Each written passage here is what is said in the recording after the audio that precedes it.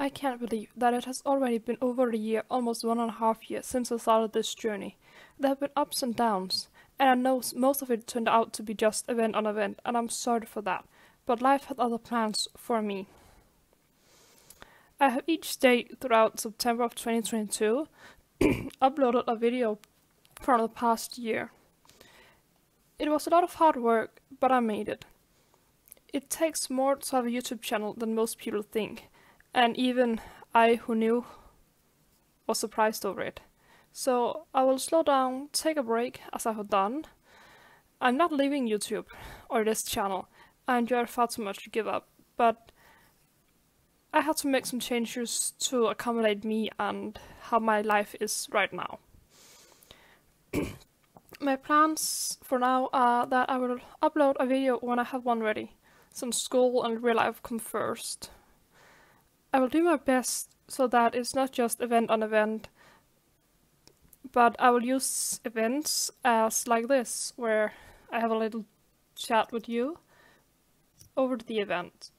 But of course, if it have a storyline like Halloween or Equestrian Festival, a Rainbow Festival, Winter event, or whatever you want to call it, you know, things of that who have a story in them, I will of course, like I did with this Christmas, um, I will I will make the story event as a normal video, and the rest of it, or if I even get a recording, it would be be like this. And also, I'll also use probably use some training videos or whatever for for this year. I am sorry that my latest videos have been without sound. Audio was not recorded while I recorded the video, 100% my mistakes. Um, of course, yes, I will make a voiceover for them when I have the time. And then I will, you know, edit and upload again. But I just have a lot of project, juggling a lot of projects right now that I want to get done first. Some of the projects I'm working on is actually the look for this channel, the profile picture, the channel banner, even a channel trailer. Um, I have like I have done a few sketches um, and a few things that um, I have the plans I might use. I might not. I'm not totally sure what how I want it to look, but I have made some templates, some starting points, and they will they will get better.